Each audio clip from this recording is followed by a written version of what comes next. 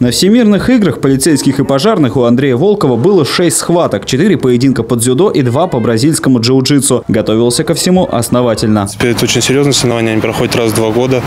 Готовился с, с полной ответственностью, потому что представлял не только свой регион, а представлял МВД России. Плюс э, э, сам по себе соревнования проходили в Китае, нужно было хорошо акклиматизироваться, то есть подойти с соревнованиями. Ну, что и произошло. В соревнования Андрей привез две золотых медали. Притом, если дзюдо Андрей занимается давно, то бразильское джиу-джитсу для него в новинку. Но здесь, говорит, большую работу проделали тренеры. И благодаря этому обе схватки он выиграл досрочно. А вот дзюдо было интересней. В супертяжелом весе первая схватка была с китайским спортсменом. Поединок складывался напряженно. Однако Андрей применил свой излюбленный прием – выход в партер и удержание. Но особенно рязанцу запомнился бой за медаль. Финальная схватка тоже с представителем Китая, который был в сборной много лет, по-моему, даже участвовал на Олимпиаде.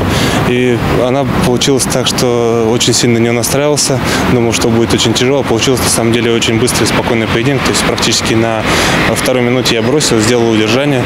И она прошла как нельзя лучше. Андрей Волков начал заниматься самбо с юных лет. В то время секций было мало, но повезло, нашел рядом с домом. Говорит, борьба сильно изменила его жизнь. Он до сих пор хранит свою первую медаль, которую выиграл в 98 году. Она по размеру меньше привезенных из Китая, да и уже почернела от времени. Однако и сейчас занимает почетное место среди других наград. Одним из самых важных советов тренеров Андрей считает самый простой – не сдаваться. Мне кажется, это наверное, никогда не сдаваться, потому что может много в жизни, как в жизни, так и в спорте может много случиться, но нельзя никогда опускать руки, нужно идти дальше, даже если что-то не получается, как в жизни, как в учебе, так и в работе, нужно потихонечку идти дальше, то есть переступать.